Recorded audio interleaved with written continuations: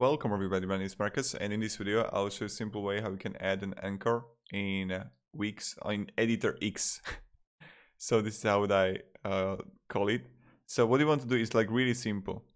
Now, you just want to be here in Editor X and you want to click on whatever section you got, whatever image you got, or like let's say that I want to create a, a, like anchor right here.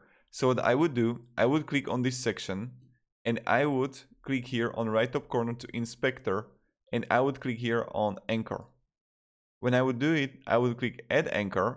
So what I would do, I would create from this section an anchor and I would name it like image, right?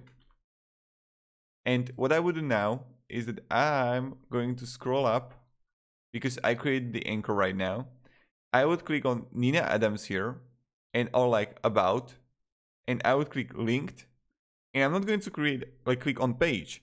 I will click here on anchor, which page home, this, and just you're gonna see section 4. That's the anchor that we got. Oh, as we go down, it's this one, anchor name section 4. You can also rename the anchor if you want to.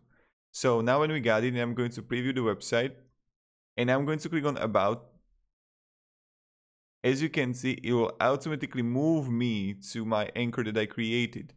So yeah, this is how I do it, guys. It's like really simple and really easy. Thank you very much, everybody, for watching and have a great day and goodbye.